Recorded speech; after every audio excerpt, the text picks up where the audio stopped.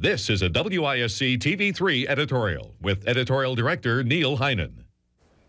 It seems highly unlikely the Wisconsin State Legislature will pass a budget before the biennium and fiscal year ends June 30th. And thus, we are subjected to yet another example of a failure to lead and an inability to govern.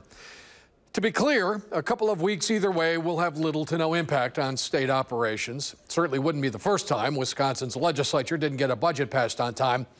But the process we're witnessing right now, just the ugly politics of it all, suggests that the people we've elected to office simply don't care about good government, to say nothing of the common good of the people of this state.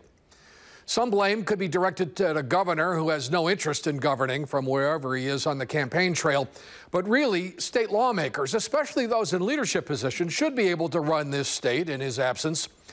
But we see no indication that this bunch has any idea what's best for our state, its university, its public schools, its transportation infrastructure, its economy, its image, its reputation, or its citizens. They look silly, and they're making this state look silly, and this state deserves better.